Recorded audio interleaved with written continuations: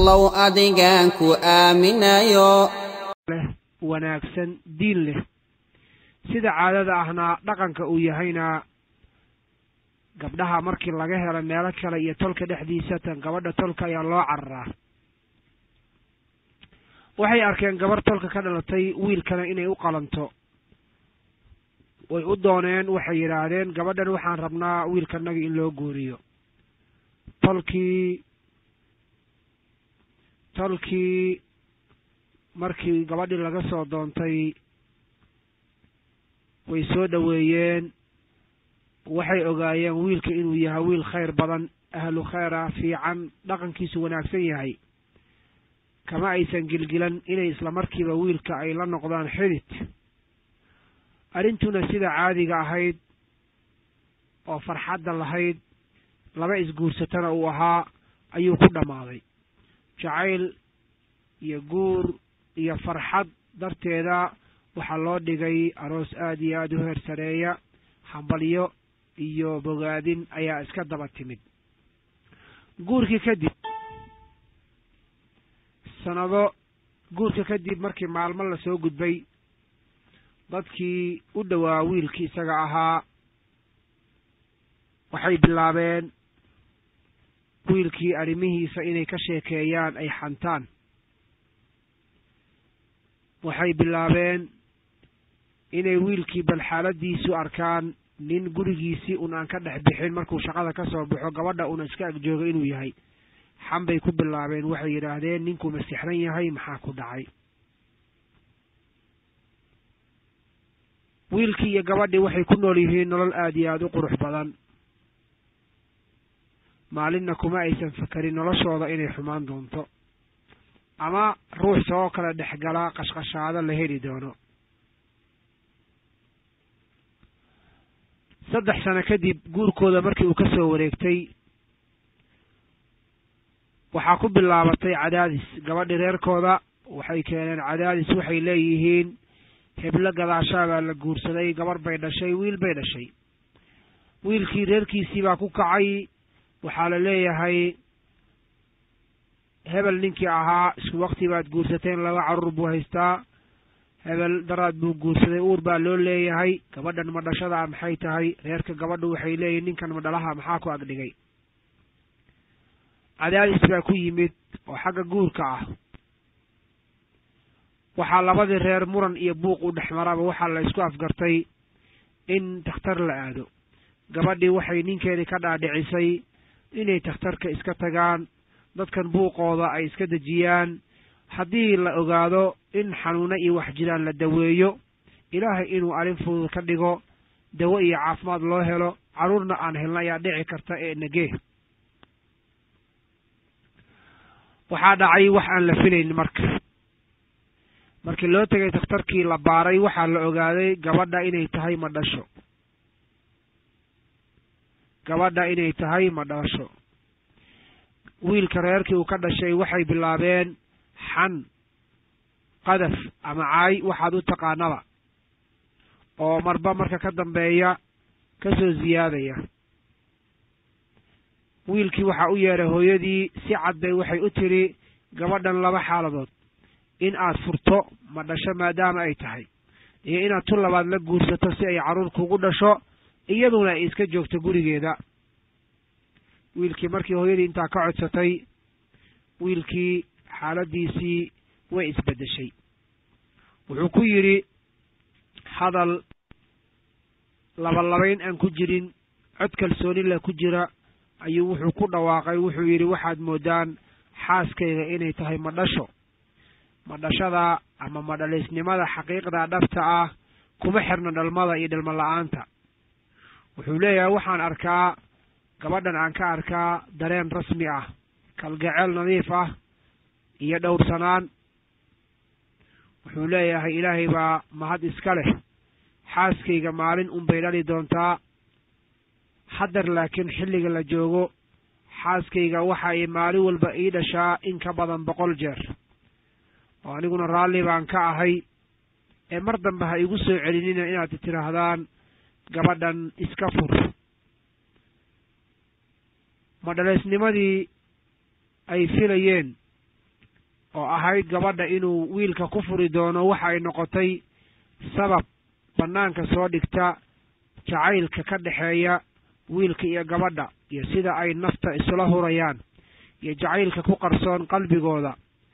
Sannado kadib sagaal sano marka ay ka soo wareegatay oo aysan waxba dhalin jacaylna kii ugu dambeeyey iyo romansiga noocii ugu dambeeyey ay ku nool yihiin.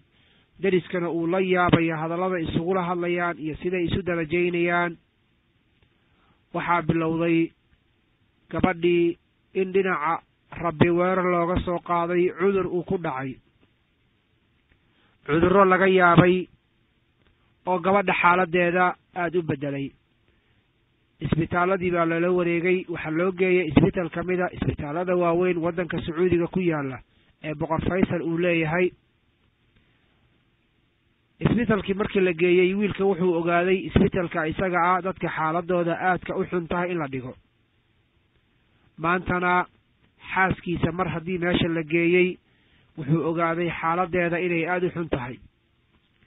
Dakhtarkii markii uu baaritaan ku sameeyey ayuu wuxuu la hadlay wiilkii. Wuxuu u sheegay gabadhan inay xanuunsan tahay. Cudur dawadiisa aan la haynin lala helin uu ku dhacay. Dadka gobolkan bariga dhexe loo yaqaano uu ku dhaco cudurkanna aad ay u fara yar yihiin. Gabadhanna inaysan muddo sii fog shan sano ka badan aysan noolaan doonin. Si walbo xaaladdeeda ay noqoto laakiin cimrigana gacanta ilaahay buu ku jiraa taa la soco wiilkan xanuunkii iyo qoomamayntii baa ku siyaaday mar haddii ay xanuunsan tahay xaaskiisii uu jeclaa. Wuxuu ogaaday sanadba sanadka ka dambeeya gabadhan inay sii baaba'ayso xaaladdeeda dakhtarkii wuxuu yidhi gabadhan isbitalka ayaa lagu haynayaa si ay baldawooyin u hesho. Ilaa ilaahay ammaanadiisa uu qaato nafsadeeda ilaahay uu ka qaato. Laakiin wiilkii isaga ahaa gabadha qabay dakhtarkii wixii uu rabay uma uusan hoggaansamin wuxuu diiday gabadhan isbitalka in lagu hayo. Wuxuu noqday nin neerfista ah. Neerfihiisu ay kacsan yihiin ka caraysan hadalka dakhtarka wuxuu go'aansaday gabadha iyada ah inaan dakhtarka lagu haynin gurigiisa uu ku hayo isaga agtiisa uu ku rabaayadeeyo ama uu ku ku hagaajiyo. Gurigii uu deganaa qol ka mida ayuu wuxuu ku diyaariyey dhammaan waxyaabaha qofka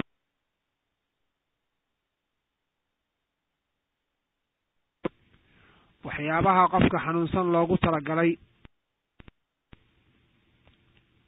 ayuu halkaa isaga ah ku diyaariyey.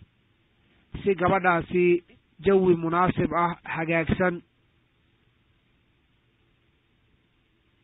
jawi munaasaba hagaagsan xaaskiisana ay dawo ku hesho si uu ugu diyaariyo. Wuxuu diyaariyey qalab qiimihiisa uu la egyahay saddex boqol iyo lixdan kun oo lacagta riyaalka sacuudiga ah oo isugu jira dawooyin qalabka dadka xanuunsan miirka la ama cudurrada ku dhaca lagu kalkaalo. Wuxuu u diyaariyey qol gaar ah isaga iyo xaaskiisa. Inta uu la joogo ay ku dhaqmaan ama ay wada joogaan markuu isbitaalka ka soo saaro. Lacagtan qiimaha intaan la egnaa waxa uu ka soo deynsaday bangiga waddanka wuxuu u bandhigay kalkaaliso isbitaalka ka shaqaysa lacagta ay ku shaqaysato ka badan si ay gabadha ugu baxnaaniso inta uu shaqada ku maqan yahay. Maamulka shaqada ayuu wuxuu u gudbiyey fasax in la siiyo. Waxba shaqaa lacagna uusan qaadanin inta xaaskiisa ay xanuunsan tahay. Laakiin maamulihii shaqada ayaa ka diiday markuu ogaaday gabadhan iyada ah. Lacag fara badan darteed inuu u galay sidaa darteedna wuxuu yidhi waxaad imaanaysaa maalinkii ugu yaraan saacad ama labo? Waad shaqaynaysaa waxaadna iska bixinaysaa deemihii aad gashay ama reerkaaga ayaad biil ugu raadsanaysaa. Wiilka marmarka qaar wuxuu ahaa shaqada mid saacad ama laba saac jooga isagoo ka fakaraya xaaskiisa xanuunsan iyo maqnaanshaha uu ka maqan yahay. Wuxuu jeclaa afka inuu u geliyo cunnada bal si ay joogitaankiisa xoogaa niyadda ugu dhisato wuxuu ahaa mid qalbiga iyo laabta ku duma markay xoogaa xanuun dareento una sheekeeya qisooyin iyo sheekooyin dhaca uga sheekeeya si xanuunka hayo uu u halmaansiiyo. Laakiin maalinba maalinta ka dambaysa gabadha xaaladeeda aad bay u sii xumaanaysay. Ninkani wuxuu isku dayayey inuu dadaal bixiyo si uu xanuunka ula wadaago uga fududeeyo.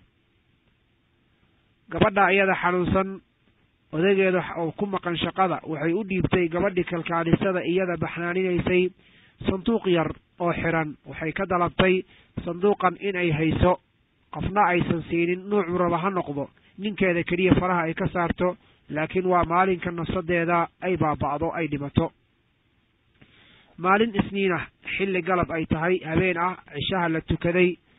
Jawiga wuxuu ahaa xilli roobeed codka dhibcaha roobka ayaa waxaa ku soo qulqulayay jiingada guriga ay deganaayeen. Daaqadaha guriga waxaa ka soo gelayay biyaha roobka. Wiilka laakiin wuxuu bilaabay gabadha xaaskiisa ah inuu u sheekeeyo qalbigeeda farxad uu geliyo. Gabayo u tiriyo iyada uu geeraar ku ammaanayo uu tiriyo. Indhaheeda horteeda uu ku dhaqdhaqaaqo bal si xoogaa farxad ay u dareento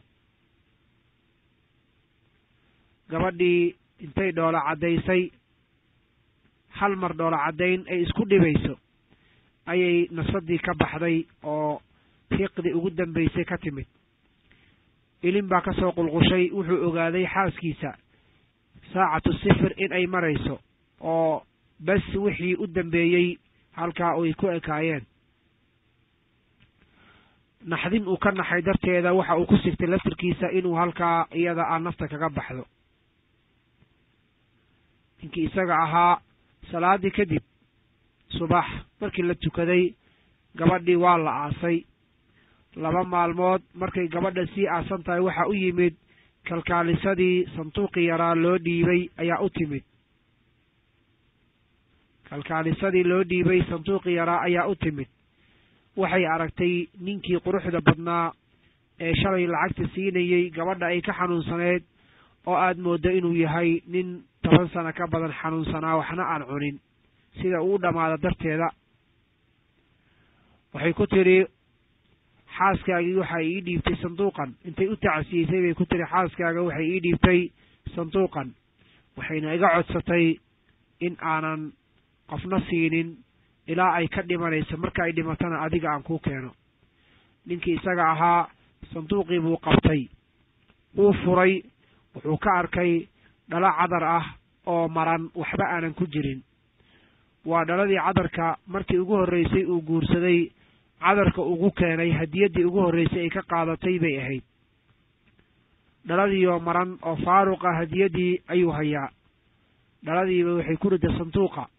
Waxaa kaloo ku jira sawir isaga iyo gabadha ay wada galeen habeenkii arooska ay gelayeen waxaa kaloo ku jira warqad gabal yar oo maro ah jab jeex yar oo maro ah oo cad oo ay ku qoran tahay uxibuka fillaahi. Ilaahay dartii ayaan kuu jeclahay. Waxaa intaa ka sii daran jacaylka ay gabadha u haysay iyo kii ilaahay oo ay isku kartay ayay waxay ku tidhi ilaah dartii baan kuu jeclahay xaaskaagana waan ahay waan ku jeclahay. Wuxuu leeyahay ninka qoray warqaddan waxaan idiin soo gudbinayaa warqaddii gabadha ay ku qortay ku jirtay sanduuqa. Intii ku qornaa ayaan idiin soo gudbinayaa laakiin ma doonayo magaceeda ama magaciisa inaan soo sheego. Waxaa ku qornaa warqadda ninkayga qaaliga ahow. Faaruqidaan adduunka kugu faaruqay ha ka murgoonin. Ilaahay baan ku dhaartay. Haddii cimri dambe la isiiyo inaan soo noolaado ilaahay ii qadari lahaa. Waxaan dalban lahaa nolosha inaan dib kula soo bilaabo waxay tidhi waxaad jeceshahay inaan noolaado waxaan jeclahay inaan kula noolaado. Ilaahayna wuxuu doonayaa nafsadeyda inuu qaato. Tii ilaahay baana soconaysa dulqaado sabar yeelo. Waxay la hadashay qof bay la hadashay waxay tidhi walaalkayga hebel ahow waxaan jeclaan lahaa in aan ku arko adigoo aroos ah inta aadan dhiman. Waa qof ay ka dardaarmayso walaasheeda heblo ahay. Carruurtaada sida aad ugu adag tahay ama aad u dilayso ka aayari sababtoo ah ilaahay baa ku siiyey nimco ilaahay uu ku siiye weeye dareen oo ilmaha dilka ka daa. Waxay u soo laabatay eedadayda qaaliga ahayd waa ninka ay dhash ninka ayada qaba hooyadii. Waxay tidhi si fiican baad iila dhaqantay markii aad wiilkaaga u raadisay gabar kale inuu ila guursado. Wuuna mudan yahay inuu guursado sababtoo ah magaciisa ayaa ilmo wanaagsan ka soo jeeda. Hadalkayga ugu dambeeyo waxaan dhahayaa ninkayga aan jeclahay waxay tidhi guurso marka aan geeriyoodo sababtoo ah cudurdaarka aad u guursan weyda wuxuu ahaa inaad aniga i dhowrayso i jeceshahay. Laakiin maanta waxay tidhi cudurdaar kuuma yaallo guurso. Waxaana kaa codsanayaa ubadka ugu horreeyo gabar ah aad dhashay inaad magacayga u bixiso. Ogsoonow xitaa qabriga haddaan ku jiro xaaska cusub aad guursato waan ka masayrayaa. Xitaa anigoo qabrigayga ku jira gabagabo. Intaa ayay gabadha ayada ku soo gabagabaysa qisadeeda